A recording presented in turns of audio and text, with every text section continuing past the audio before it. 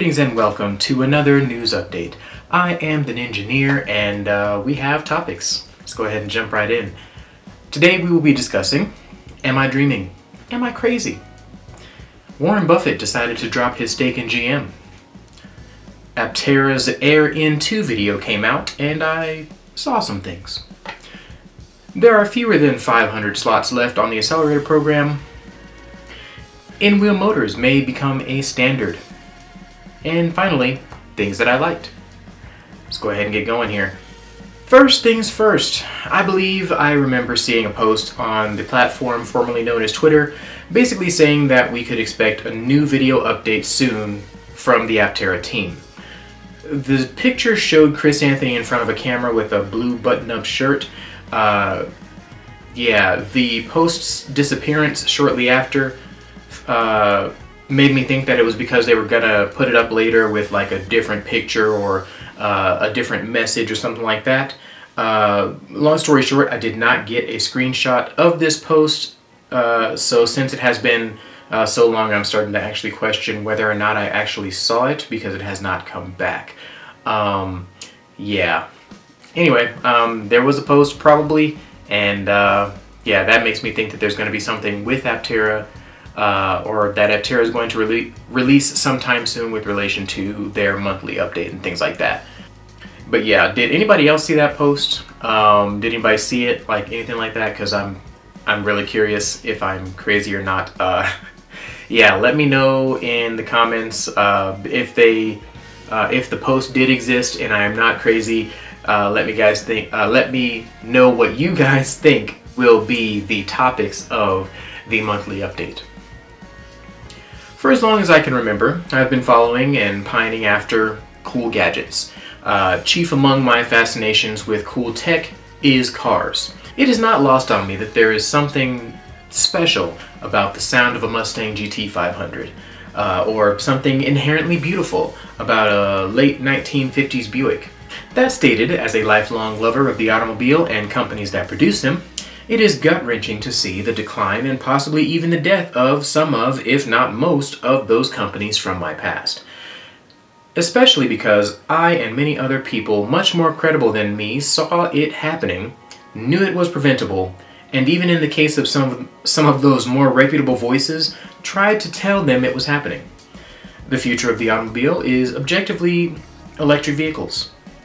Even at their inception, they had advantages over internal combustion engines uh, or ICE vehicles that uh, have only increased up to this day, um, widening the gap and uh, increasing the viability of electric vehicles um, as their tech continues to improve. This fact, combined with Legacy Auto's insistence on ignoring these changes as a fad or out of fear of their institutional investors, and probably many others, are what drove one of, if not the most prolific investors in the world to drop their stake in GM. If this was not a clear enough message, I don't know what is. Without a serious change of course, uh, GM and several other companies that are considered legacy auto will no longer exist. Heck, the 10 or 15 year delay uh, has already guaranteed their market share in the future of uh, electric vehicles will be orders of magnitude less than what they were uh, historically. Good lord. Uh, even saying that sentence like out loud kind of it makes my gut wrench a little bit like it, it's it hurts but uh, be that as it may why talk about this in an Aptera news video very simple uh, Aptera is positioned if they meet their production goals to fill in a lot of the gaping chasm that will be left by Legacy Auto. In short, I believe the new big three will be Tesla, Toyota, and Aptera. If they get their production vehicles fully validated and out to customers in 2024, like they are saying that they will. Aptera's Air In2 video saw quite a few changes that we did not see in videos even as recent as the original Air In video. I think they are really showing us the last renders before they reveal the production intent vehicle. Uh, it is exciting. It is really, truly, deeply exciting. One thing I did notice is their access to the rear wheel, as shown in the video, is at least in my opinion, lacking. I hope they rethink that little porthole and make it either bigger or allow the rear wheel pant to open up like a clamshell from the back or, you know, something to that effect. The accelerator program uh, has come a long way. It is both fascinating and encouraging to see how uh, much people support a movement like Aptera. At this point, there are fewer than 500 slots left, and I believe this is a perfect time to talk about the contest I'm running for uh, my accelerator slot. Many months ago, I announced a contest that revolved around using specific words in a sentence. That contest is still going on, and every so often I do get a new entry. The link to the rules for that contest will be linked below, but basically, I mentioned the contest to emphasize that as soon as the uh, 2000th, 2000th slot is filled in, I will be announcing the winner to that contest in a video and reaching out to that winner for details on how to claim their prize. To those who have entered, thank you for your entries. They are all so good that I really have a task ahead of me uh, when picking the winner. That stated, the number of entries is fairly small, so the chances of winning are actually pretty darn good.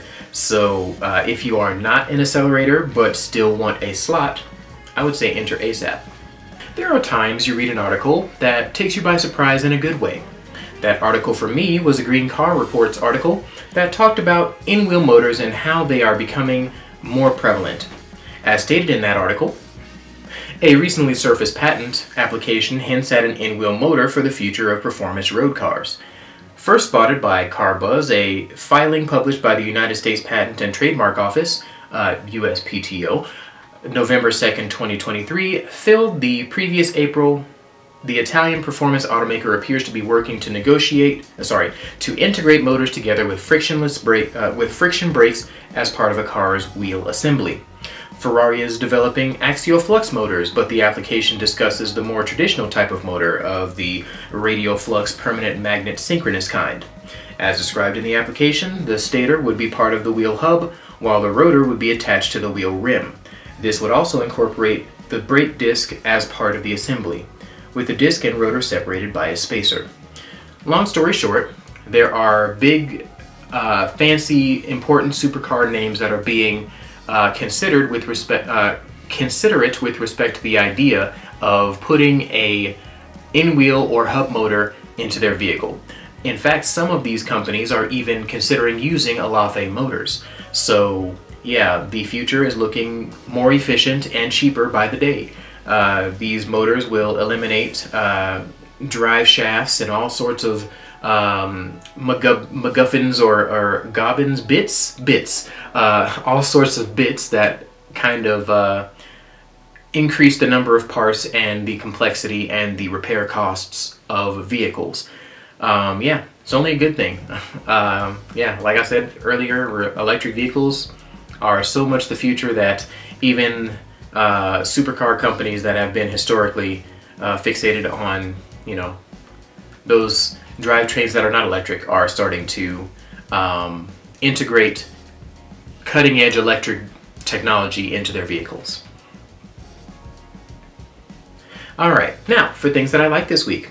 Aptera Owners Club has been on an absolute tear when it comes to good Aptera content. Uh, Steve has been discussing prevalent comments in videos where he jogs and I am here for it.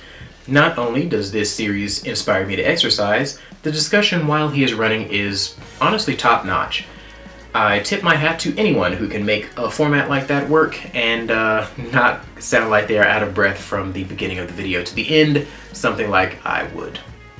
Anyway, Sam Alexander is a channel that I've talked about before as well. Uh, his most recent video, which along with every other topic will have a link below, talks about the framing of electric vehicles in the industry uh, in the eyes of the news media and legacy automotive. The video was a very in-depth uh, look and echoes what I think the auto industry actually looks like to those who are watching it closely. Drive the Lightning is putting out a video series as well that talks about some of the most frequently asked questions on Google and among their fans with relation to Aptera. Um, much like the Aptera Owners Club, except with less jogging. Uh, they are fun and engaging as usual, and I can't recommend them more.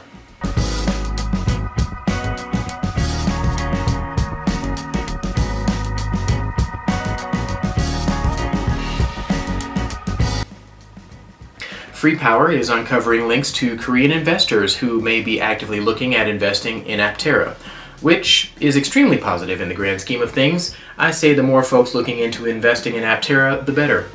This will only speed up production and allow us to get our vehicles sooner. Uh, sooner is better. Always.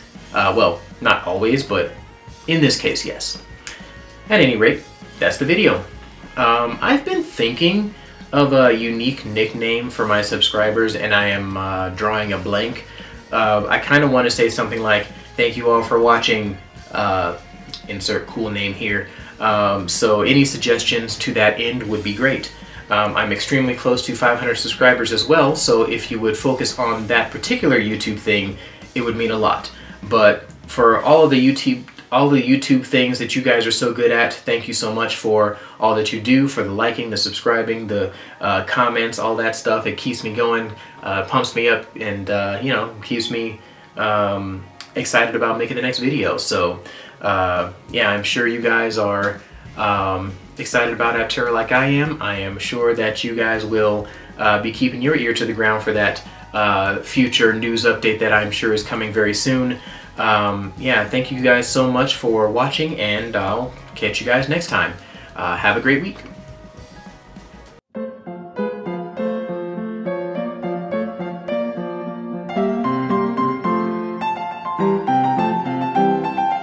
One thing I did notice is their access to the rear wheel, as shown in the video, is at least in my opinion lacking. Uh, I hope that they rethink that little porthole and make it either bigger or allow the rear rear wheel. Oh my goodness, that's gonna be one. That's gonna be a thing. The rear wheel. All right. There are times you read an article that takes you by surprise in a good way. Uh, that article from me was a Green Car Reports article that talked about uh, in-wheel motors and how they are becoming more prevalent. As stated in the article, Let's see here. Ooh. Oh no, I closed the window. Oh no. Oh no. Hold up. We're getting there, we're getting there.